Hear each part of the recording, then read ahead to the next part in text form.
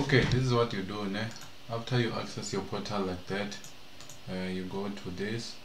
Then inside here uh, let's close this. You come to AI bot then you download this file.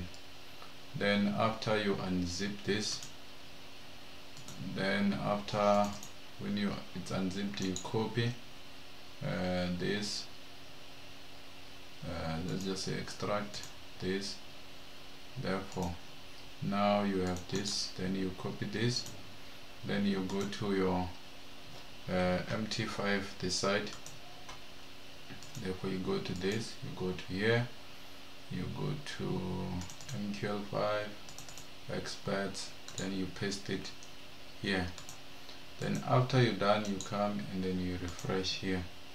Then once you're done you come back again to this then you copy this link if possible or you can type it also. It's not a problem. Then you come here come to tools then you come to options. Then here you will see this expert advisors. Then you double click there then you paste.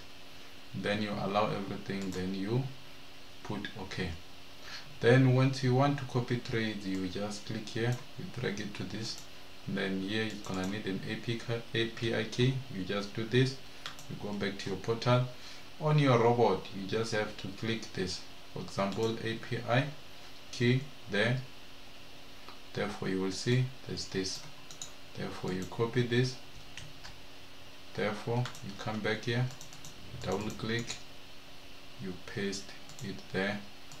Therefore make sure you allow it on the other side. Then press ok then if you want to check if it's fine you just have to do this.